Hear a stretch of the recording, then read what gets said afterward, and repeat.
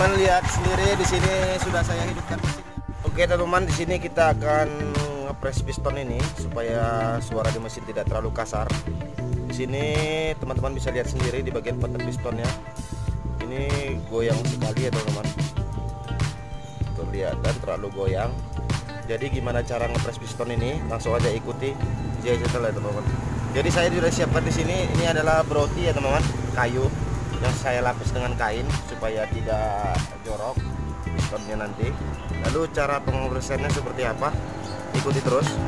Jadi teman-teman bisa lakukan seperti ini teman-teman. Nanti kita akan pukul dari atas dari siku-sikunya teman-teman. Siku kanan kiri dipukul pakai broti juga jangan menggunakan uh, besi ataupun yang benda keras ya teman-teman. Artinya benda padat seperti besi ya teman-teman. Jadi kita menggunakan broti langsung aja ikuti ya teman-teman.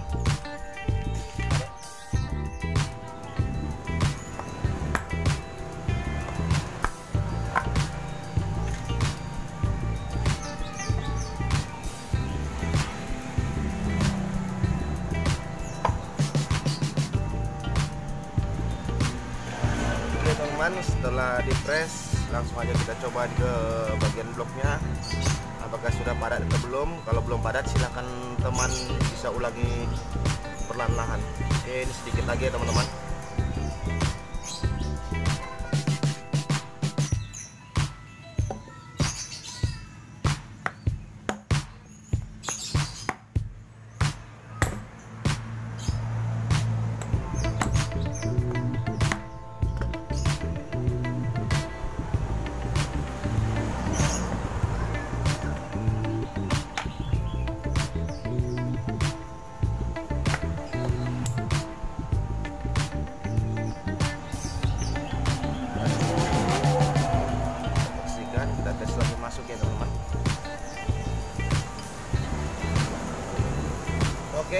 di sini sudah kelihatannya sedikit padat.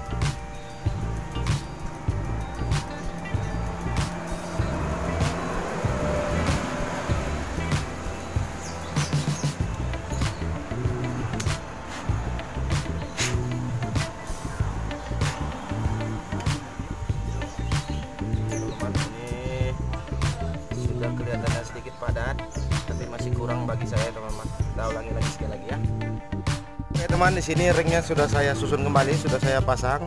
Lalu kita tes saja. Teman-teman bisa lihat sendiri ini udah terlalu udah padat ya teman-teman. Nah, jadi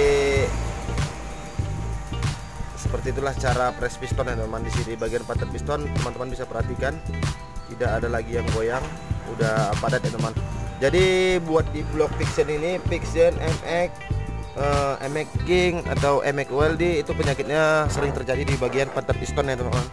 Jadi mengeluarkan suara yang sangat kasar ya teman jadi buat teman-teman di mana pun anda berada walaupun anda beli piston yang baru original langsung dipasang itu tetap mengeluarkan suara yang berisik ya teman-teman.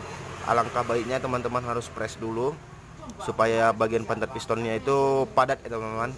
Jadi tidak mengeluarkan suara yang kasar nantinya waktu setelah dirakit ya teman-teman jadi langsung aja untuk di tutorial saya hari ini semoga teman-teman di mana pun ada berada memahami ya teman-teman langsung aja saya akan rakit di bagian mesinnya teman saksikan terus nanti kita lihat hasil penghidupan mesinnya teman kita Aduh.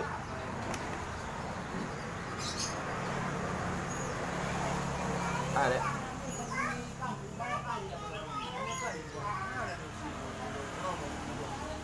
Mogok, Injeksinya minta reset. Injeksi raja minta reset. Pump injeksi pun bisa juga jorok. Ini sudah saya rakit semua, sudah saya beresi, sudah saya rapikan kembali di mesin tadi yang kita press piston itu ya teman-teman jadi langsung aja kita pengetesan suara mesin langsung ya teman-teman saya kunci kontakkan dulu tapi ini kereta tidak bisa starter maka kita pakai engkol ya teman oke langsung aja saya hidupkan.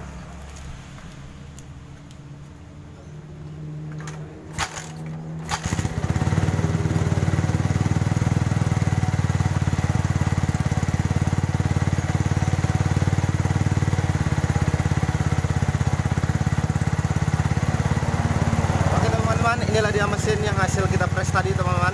Sendiri bisa menilai apakah halus atau masih kasar. Tapi kalau menurut saya ini sudah agak lumayan dari awalnya teman-teman. Jadi suara pistonnya sudah nggak cetak cetak cetak cetak lagi ya teman-teman. Sudah berkurang total sekitar 70% lah.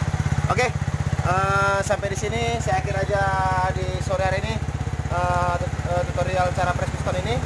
Uh, buat teman-teman yang baru bergabung langsung aja klik subscribe-nya dan langsung aja aktifkan lonceng sebelah kiri Anda dan teman-teman setia saya terima kasih sudah menonton nonton video dari saya. Dan buat teman-teman di mana pun anda berada uh, mohon dukungannya buat channel kita ini supaya cepat berkembang ya teman-teman. Oke saya kira aja. Wassalamualaikum warahmatullahi wabarakatuh.